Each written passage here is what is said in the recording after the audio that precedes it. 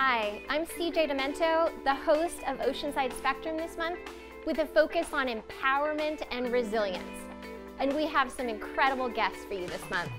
First, we have Sisters of the Streets on the KOCT soundstage to share their mission to foster hope, love, and freedom from domestic sex trafficking and how their organization is changing and their new direction. The Soroptimist International Oceanside Carlsbad Club is here to talk about access to education and training for women and girls to achieve economic empowerment.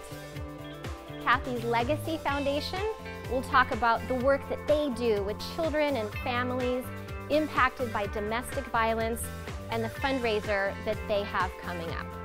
And Blue Star Families is here as well with their empowering mission to help military families address the challenge of the military lifestyle with innovative strategies. Be sure to watch this edition of Oceanside Spectrum right here on KOCT, the voice of North County.